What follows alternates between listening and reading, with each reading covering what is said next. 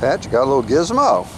Isn't he cute? Oh, I mean, if he was some kind of a special breed, they'd be selling them like hotcakes. Uh-huh. But this is Gizmo. He's a stray.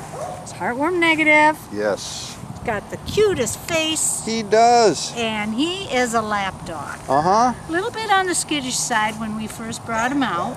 Went to his kennel. But he's been in the kennel a while. And folks, he's been around without too many too many meals because you can you can't see it, but you can feel every little vertebrae in his spine. Poor fella. And he's got to be all of 10 pounds soaking wet. yeah, he's just Hey. a little tiny thing. Yes, he is. Just a precious little guy. I know. I, uh, did you show him a good body shot?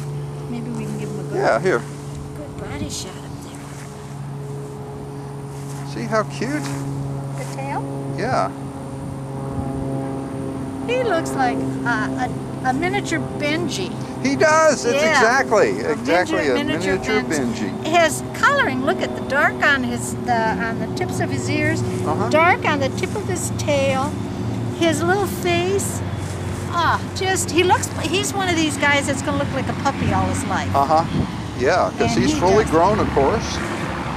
And he does look like a puppy, and he's in the puppy room. Yep, and you people that love Maltese, Yorkies, um, all the little lap guys, this is one all rolled into one. He is just precious. Mm-hmm. And I can just see him groomed. He is gonna, Yeah. he's a knockout, kind of scraggly and scruffy like he is, but he's gonna be a super knockout Oh, when yeah. he's groomed. So And I'm so happy to say he's heartworm negative Yes, yes. and he just doesn't know what's going on.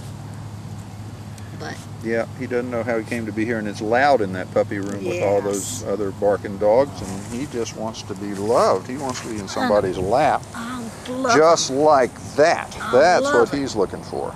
Yeah, look at that. Look at how he's Uh huh. Look at up. it, just perks up and Yeah, just liking that. Yeah. Huh, buddy? What's not to like? yeah. Get Do to I see get a little world. sugar too? Yeah. Huh? Yeah. Give Mr. Ed.